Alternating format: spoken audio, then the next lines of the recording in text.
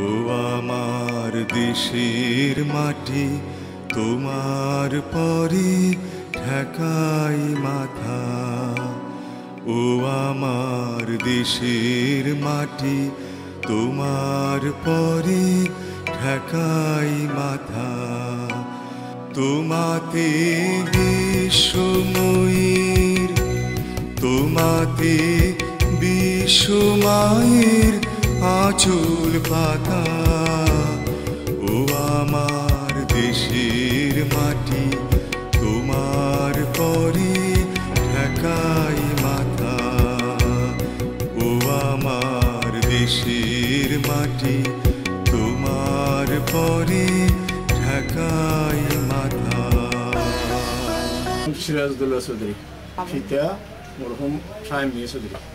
মাতা মসুদা হাতে আপনার গ্রামে গ্রামের নাম সরল ডাকঘর সরল থানা বাসখালী জেলা চট্টগ্রাম। মুক্তিযুদ্ধের সময় আমি চট্টগ্রাম সিটি কলেজের ছাত্র ছিলাম।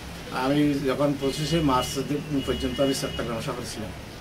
যখন যুদ্ধ লাগে গেলো আবার তখন আমি বাড়িতে চলে যাই। বাড়িতে চলে যাওয়ার পরে তিন চার মাস পর আমাদের এলাকার একজন আর্মি পার্সন ওই আপনার করাচি থেকে পালিয়ে কীভাবে পালিয়ে আসলো?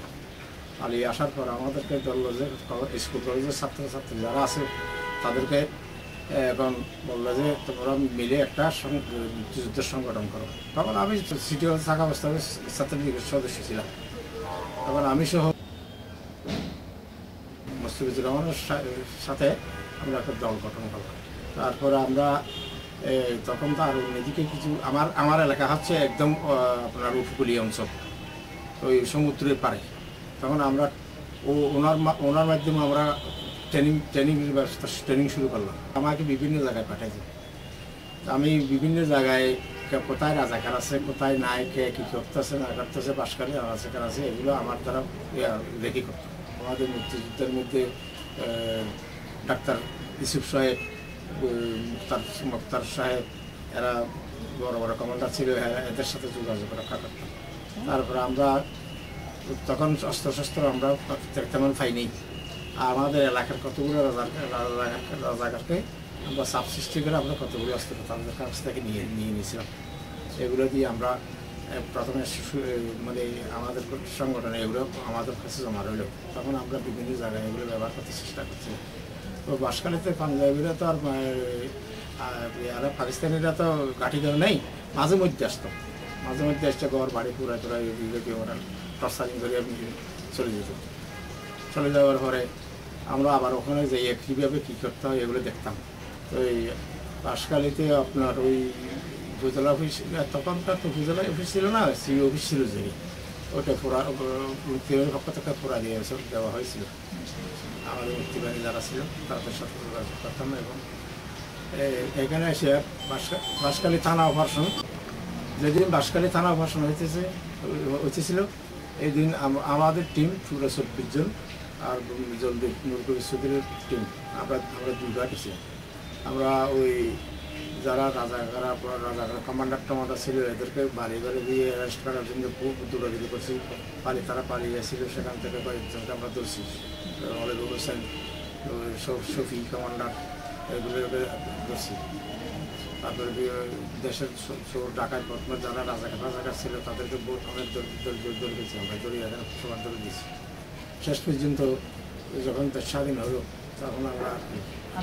অস্ত্র শস্ত্র জমা দিয়ে আমরা সব ইয়া বাড়িতে গেলাম এই উদ্দেশ্যে নিয়ে আমরা একটা দেশ স্বাধীন হওয়ার জন্য মুক্তিযুদ্ধে অংশগ্রহণ করেছিলাম। সেটা আর হান্ড্রেড পার্সেন্ট সফল। আমরা তো স্বাধীন করতে পেরেছি। এরপরে যাই ঘটুক তা অন্য কথা। আমাদের পরে ছেলে মেয়েদেরকে আমরা একটা শিক্ষণীয় বিষয় হবে যে আমরা নয় মাস যুদ্ধ করে এই দেশ স্বাধীন করা হয়েছে। অনেক মা বোনের ইজ্জত করতে হয়েছে। সব প্রায় ত্রিশ লক্ষ মানুষ মারা গেছে। যারা দেখে নাই, তাদেরকে এটা বুঝ- বুঝতে হবে। এইটাই আমরা এখন ক্লিয়ার করতে চাই তুমি মিশে মোর দেহের সনে। তুমি মিলে মোর প্রাণে মনে। মিশে মোর দেহের সনে।